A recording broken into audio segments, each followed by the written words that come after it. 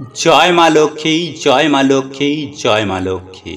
হে মা লক্ষ্মী, যে এই ভিডিও দেখছে, তার ঘরে সব সময় আপনি চিরস্থিত হয়ে থাকবেন। ওনাদের ঝুলি অর্থ সুখ সৌভাগ্যে ভরিয়ে দেবেন। জয় মা লক্ষ্মী বন্ধুরা বন্ধুরা আজ সকাল নটা বেজে ন মিনিট থেকে শুরু করে আগামীকাল সকাল ছটা বেজে একচল্লিশ মিনিট পর্যন্ত চলবে দু হাজার চব্বিশ সালের পাশাঙ্কুশা একাদশী। আর উদয়া তিথি অনুসারে এই একাদশী পালন করা হবে আগামীকাল চোদ্দই অক্টোবর দু হাজার চব্বিশ সোমবার। বন্ধুরা, এই একাদশী কোজাগরী লক্ষ্মী পুজোর আগের একাদশী। তাই এই একাদশী আমাদের প্রত্যেকের জন্য অত্যন্ত গুরুত্বপূর্ণ একটি একাদশী। কারণ এই একাদশীর দিনে আমাদের সামান্য কিছু কার্য আমাদের সৌভাগ্যের দরজা খুলে দেবে এবং স্বয়ং মা লক্ষ্মী আমাদের বাড়িতে পুজো নিতে আসবেন। সেই সঙ্গে লক্ষ্মী মা আমাদের ঘরে চিরস্থিত হয়ে থাকবেন।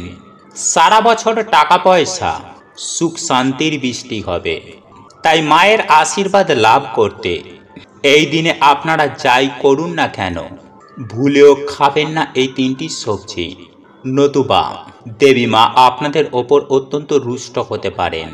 যার ফলে মা লক্ষ্মীর জায়গায় অলক্ষ্মী আপনার ঘরে বসতি স্থাপন করবে এবং আপনি কোটিপতি থেকে রাস্তার ভিকারি হয়ে যাবেন। সেই সঙ্গেই সারা বছর রোগে ভুগবেন জলে মরবেন। তখন আপনাদের মাথা চাপড়ানো ছাড়া আর কিছুই বাকি থাকবে না। হ্যাঁ বন্ধুরা, আপনারা একেবারে ঠিকই শুনছেন। কারণ বিষ্ণু পুরাণে ভগবান শ্রী বিষ্ণু নিজে বলেছেন, যদি কোনো ব্যক্তি কোজাগরী লক্ষ্মী পূজার আগের একাদশীতে সামান্য এই কার্যগুলি করতে পারবে, তার ঘরে স্বয়ং মা লক্ষ্মী সুখ শান্তি, ধন সম্পত্তি নিয়ে উপস্থিত হবেন। আর বন্ধুরা হ্যাঁ এই সামান্য একটি জিনিস আপনি গোমাতাকে খাইয়ে দিন, হয়ে যাবেন কোটিপতি। যারা গোমাতাকে খাওয়াতে পারবেন না কারণ অনেক ক্ষেত্রে তো হয়, যারা শহর অঞ্চলে আছেন, সেখানে গোমাতা কোথায় পাবেন? তাহলে আমি সেই একটা উপায়ও আমি আপনাদেরকে জানিয়ে দেব যে আপনি গোমাতার পরিবর্তে আপনি কাকে খাওয়াতে পারেন। আর বন্ধুরা, আজকের যে উপাচারটি আমি আপনাদেরকে জানাব, এই উপাচারটি যদি আপনারা করতে পারেন তাহলে আপনার জীবনে সমস্ত প্রকারের দুঃখ, কষ্ট, জ্বালা, যন্ত্রণা থেকে আপনি কিন্তু মুক্তি পেতে পারেন। আর বন্ধুরা, মৃত্যুদণ্ড, পিতৃদোষ থেকে আপনি সম্পূর্ণভাবে কিন্তু রেহাই পেয়ে যাবেন এবং সারা বছর ধরে আপনার বাড়িতে কখনো অন্ন বস্ত্রের অভাব হবে না। হ্যাঁ বন্ধুরা, আপনার সাত প্রজন্ম বসে খাবে। আপনার জীবনে সমস্ত দুঃখ, কষ্ট, দারিদ্রতা দূর হয়ে যাবে।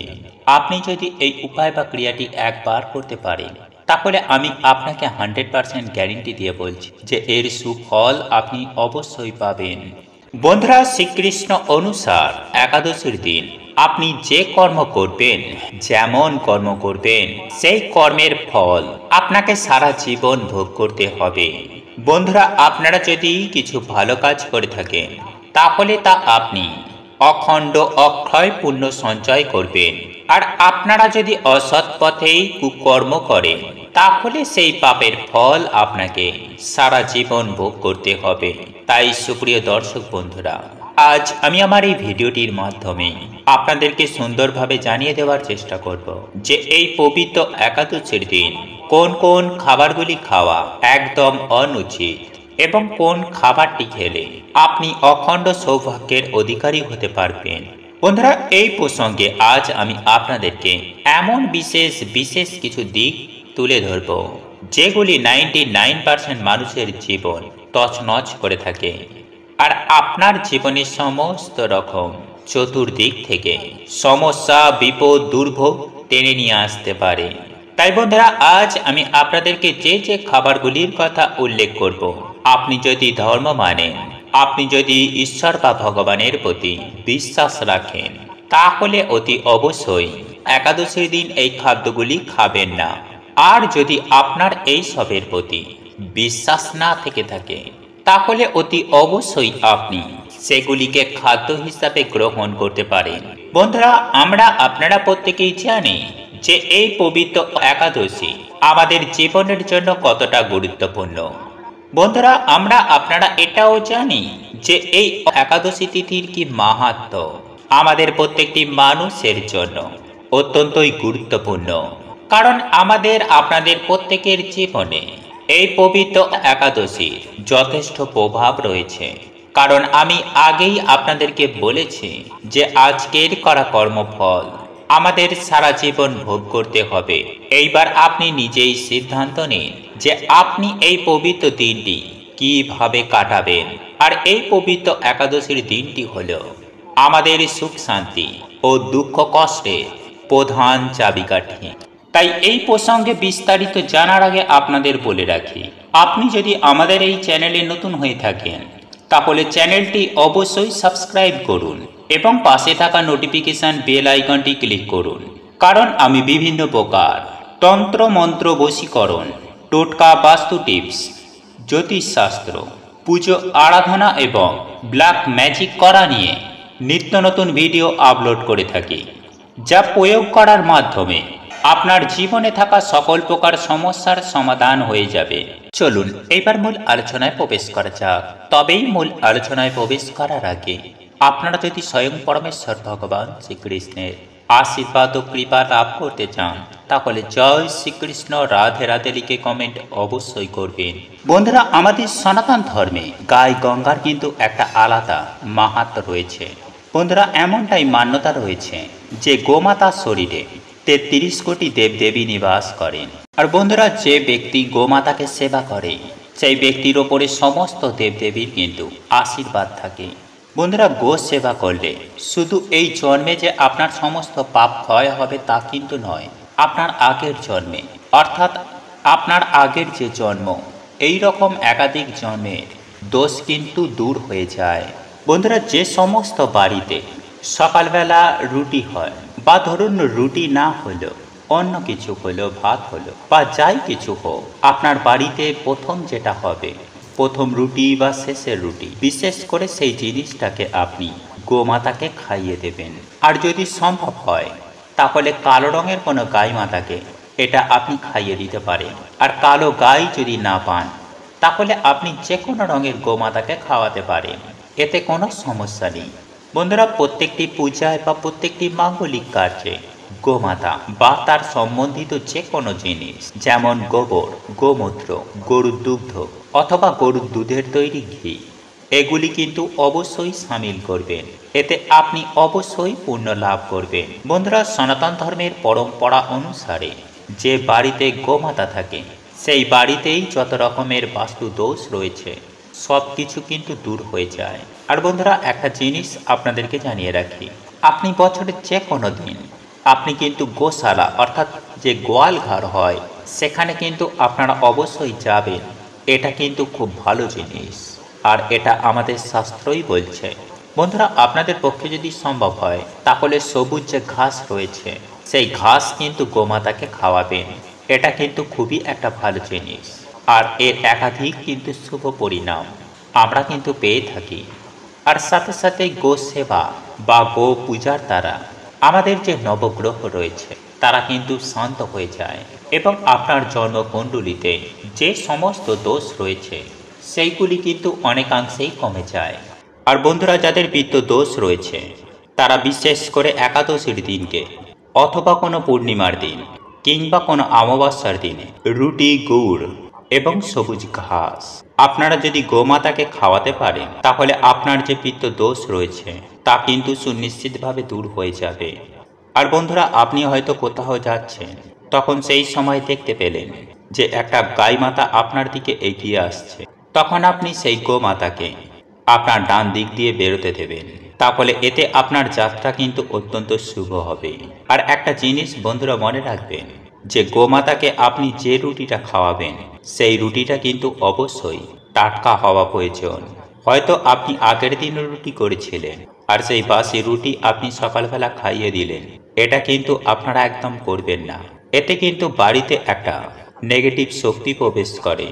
আর আপনার যে কার্য যে কার্য হবার ছিল, সেই কাজে কিন্তু বাধা পড়ে যাবে। দেখবেন, হওয়া কাজ কিন্তু একদম হতে চাইছে না। যাই হোক বন্ধুরা একই সঙ্গে আপনারা আরও একটি বিষয় মাথায় রাখবেন। যে সমস্ত গোলা জিনিস হয় বা পচা জিনিস হয়, সেই সমস্ত পচা গলা জিনিস খাওয়াবেন না। বন্ধুরা, আপনার বাড়িতে হয়তো কোনো ফল রয়েছে বা সবজি রয়েছে, সেটা হয়তো পচে গলে গেছে, সেটা গোমাতাকে খাইয়ে দিলেন। অনেকেই এই কাজটা করে থাকেন, কিন্তু এই কাজটি করা একদমই উচিত নয়। কারণ এটা মনে রাখবেন যে আপনি গোমাতাকে খাওয়াচ্ছেন মানে আপনি তেত্রিশ কোটি দেবদেবীকে খাওয়াচ্ছেন, আর এটা কিন্তু অবশ্যই মাথায় রাখবেন। তো বন্ধুরা, এইগুলি ছিল গোমাতার জন্য। বন্ধুরা, এইবার আপনাদেরকে বলে রাখি যে আমাদের মধ্যে অনেকেই শহর অঞ্চলে রয়েছে। সেখানে তো আর গোমাতা নেই। তারা কি করবে? বন্ধুরা, এই যে উপাচারগুলি বললাম, গোমাতা না থাকলে সেটা কি করবেন আপনি? সেখানে হয়তো কুকুর থেকে থাকবে। বা শহর অঞ্চলে অনেক বাড়িতেই দেখা যায় যে কুকুর তারা পোষে। বা না পুষে থাকলেও অলিতে গলিতে রাস্তাতে অনেক কুকুর থেকে থাকে। আপনারা তাদেরকে খাইয়ে দেবেন রুটি। তবে বিশেষ করে চেষ্টা করবে যদি কোনো কালো রঙের কুকুর পান, তাকে খাওয়ানোর বন্ধুরা, আপনারা এই উপায় বা ক্রিয়াটি একবার করে দেখুন। আমি আপনাদেরকে সুনিশ্চিতভাবে কথা দিতে পারি যে এই উপায় বা ক্রিয়াটি করার ফলে আপনাদের জীবনে সুখ, শান্তি, সমৃদ্ধি আসবে। এক কথায় বলতে গেলে রাতারাতি আপনাদের ভাগ্য বদলে যাবে। বন্ধুরা, এইবার আমরা জেনে নেব যে এইটা একাদশীর দিন কোন খাবারটি খেলে। আমরা অখণ্ড সৌভাগ্যে অধিকারী হতে পারব। বন্ধুরা, এই পবিত্র একাদশীর দিন যদি আপনারা মা লক্ষ্মী ও প্রভু শ্রী নারায়ণের এবং ধনকুবের রাজে একই সঙ্গে ভগবান গণেশের যদি কৃপা লাভ করতে চান তাহলে অতি অবশ্যই বাজার দোকান থেকে কিছুটা মাখন কিনে এনে আপনি ওই মাখন দিয়ে স্বয়ং পরমেশ্বর ভগবান শ্রীকৃষ্ণের পুজো আরাধনা করে সেটিকে তুলসী পাতা সহ সপরিবারে গ্রহণ করবেন। হ্যাঁ বন্ধুরা, আপনারা একেবারে ঠিকই শুনছেন।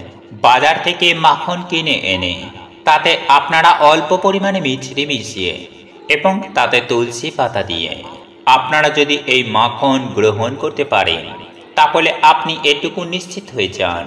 তাহলে আপনি অখণ্ড সৌভাগ্যের অধিকারী হয়ে গেছেন। বন্ধুরা, যাদের ডায়াবেটিস, সুগার রয়েছে, তারা এই মাখনে মিচড়ির বদলে অল্প গুড় মিশিয়ে খেতে পারে। বন্ধুরা, হিন্দু শাস্ত্র মতে, এই দিন যে ব্যক্তি মাখন খান, সেই ব্যক্তির ওপর স্বয়ং পরমেশ্বর ভগবান শ্রীকৃষ্ণের ও মাতা লক্ষ্মী তথা ধনকূপের এবং ভগবান গণেশের আশীর্বাদ বর্ষিত হয় এবং দুই হাত ভরে সেই ব্যক্তিকে অখণ্ড সৌভাগ্যের অধিকারী হবার আশীর্বাদ প্রদান করে থাকেন। বন্ধুরা, বিভিন্ন ধর্মগ্রন্থ ও পুরাণে বর্ণিত রয়েছে যে এই পবিত্র একাদশীর দিন যে ব্যক্তি এই মিছরি ও তুলসী পাতা মিশিয়ে মাখন সেবন করে সেই ব্যক্তির সমগ্র জীবনে তথা সেই ব্যক্তির পরিবারে। সমগ্র বছর ধনধান্যে তথা ধন সম্পত্তির বৃষ্টি হয়ে থাকে। অর্থাৎ সেই পরিবারে আর্থিক দিক থেকে কোনরূপ সমস্যা কিন্তু আর কখনোই আসে না এবং সারাটা বছর সুস্থ ও নিরোগ থাকতে সক্ষম হন। যাই হোক বন্ধুরা, এইবার আমি আপনাদেরকে জানিয়ে রাখি যে একাদশীর পবিত্র দিনে কোন কোন খাবারগুলি খাওয়া একদমই অনুচিত। বিশেষ করে কোন কোন খাবারগুলি খেলে জীবনে একেবারে পদপতন নেমে আসবে এবং সারাটা বছর রোগে ভুগবেন চলে মরবেন। বন্ধুরা, একাদশীর দিন। অনেকেই এই সব খাবারগুলি খেয়ে থাকেন। কিন্তু তাদের ক্ষেত্রে দেখা যায়, কম বেশি সমস্যা হয়। তারা জেনে অথবা না জেনে এই সব দিনগুলিতে, অর্থাৎ এই রকম পবিত্র একাদশীর দিনে বিভিন্ন প্রকারের আহার গ্রহণ করে থাকে, যার ফলে তাদের জীবনে সমস্যা কিন্তু প্রতিদিন, দিন দিন তিলে তিলে বাড়তে থাকে। তাই তারা অক্লান্ত কঠোর পরিশ্রম করার পরেও কখনো আর্থিক দিক থেকে আয় উন্নতি করতে পারে না।